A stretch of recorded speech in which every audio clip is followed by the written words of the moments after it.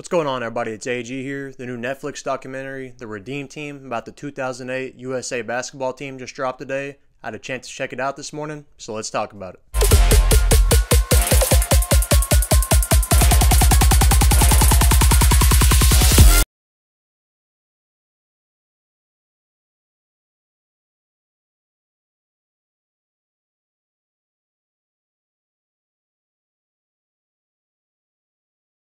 For those that don't remember, the Redeem team was a 2008 team coming off that 2004 loss that they had at the Olympics. So the Redeem team was out to redeem that loss, is what the name comes from. But for those that don't know, this is a new documentary on Netflix about that team. It's made by the same filmmakers that made The Last Dance about Michael Jordan and the Chicago Bulls that debuted on ESPN a couple years ago, for those that remember. The Redeem team featured a bunch of players that are well known today. You got LeBron James, Dwyane Wade, Carmelo, Chris Bosh, Jason Kidd, Deron Williams, Chris Paul, among others, and also including Kobe Bryant. So the Redeem team, stack team for the USA team, they had a lot to lose, but a lot to win also. So basically, the documentary starts up talking about how after that 2004 loss, USA basketball was eager to get back to victory. To do that, they had to go and build this team. The documentary basically goes through some of the tournaments that they had to play overseas in order to qualify for the Olympics. Then also it goes to Beijing in the 2008 Olympics to show how they did there. So it was a rocky start for the Redeem team. In 2006, they lost to Greece in the World Championships, missing out on a qualifying opportunity for the Olympics. They got the bronze medal there, but not the gold they were hoping for. After that loss in the 2006 World Championships,